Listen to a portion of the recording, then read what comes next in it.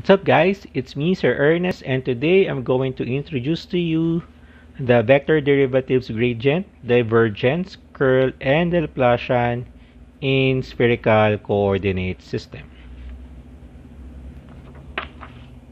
So this is just a quick uh, rundown of the vector derivatives. Okay, recall that the vector derivatives in Cartesian coordinate system is rooted from the expression of your uh, vector uh, differential operator del. And this is equal to uh, x hat times uh, times the partial derivative with respect to x plus y hat times the partial derivative with respect to y plus z hat times the partial derivative with respect to z. And then from here we can multiply it or uh, apply it to a let's say to a scalar uh, scalar field t. We can also take the dot product of that vector operator with some vector a using the dot product as well as the cross product. And we can also take the uh, the the Laplacian of your scalar potential okay? So this is what we call the gradient. We call this the divergence. And we call this the curl. And this is the Laplacian. Okay? Again we're not going to call this del t but we're going to get, call this the gradient of t. We're not going to call this the del dot a but we're going to call this the divergence of A.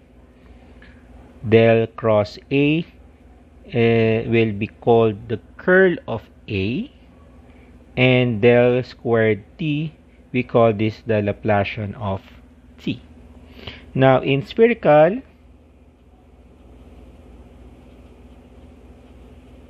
coordinates, the gradient of a vector of a scalar potential T is given by this equation. The partial derivative of t with respect to r, r hat, plus 1 over r times the partial derivative of t with respect to phi, phi hat, plus 1 over r sine theta times the partial derivative of t with respect to phi, phi hat. On the other hand, the divergence of a vector poten of a vector field let's say vector field v okay is given by 1 over r squared times the partial derivative with respect to r of the product of r squared times the r component of your v plus 1 over r sine theta times the derivative with respect to theta of the product of sine theta times the theta component of v. And lastly, that's plus 1 over sine theta times the partial derivative of the phi component of phi of v with respect to v. So here we define the vec the scalar field and the vector field v okay in terms of the components of your in spherical coordinate system.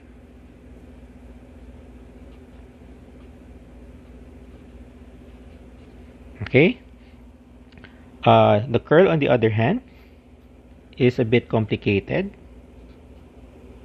And it's given by 1 over r sine theta times uh, partial derivative with respect to phi times sine theta v phi minus derivative of v phi uh, v theta with respect to phi, phi r hat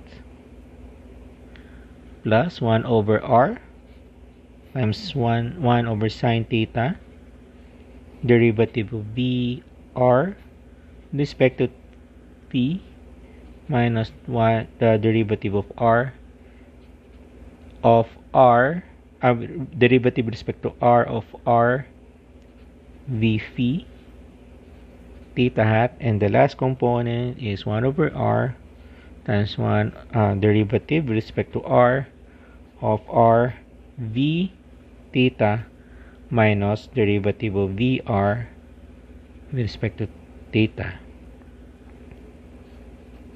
v hat okay so here as I mentioned before v is defined by vr r hat plus v theta theta hat plus v phi phi hat.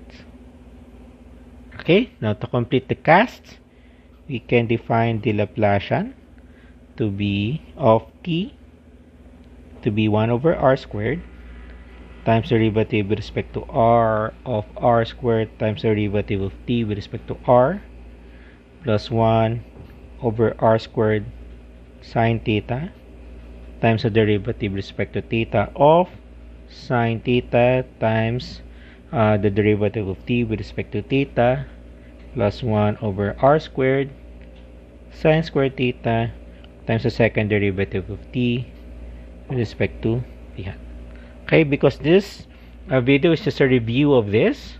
Okay, because I expect that you already uh, know this or learn this in your vector uh, analysis class okay so we're not going into the details on how the gradient of t the divergence of v the curl of v and the laplacian of t are derived it's important just to know that using these components or using the uh, when you use these uh, derivatives okay it's important to know the nature of your potential or your scalar and vector fields so for example if we want to get the curl of v for example and let's say uh, VR and V theta is missing. So that means V is only a function is only uh, only has one component and that component is along the theta component. So that means all the terms with VR and V theta will easily vanish. And then it will now depend on how the, the remaining component uh, uh, depends on which uh, uh, coordinate r theta or phi. Okay? So that's it. That's the summary of the vector derivatives in spherical coordinate system. Okay? So I hope you learned something today and I'll see you guys in the next video. Bye-bye.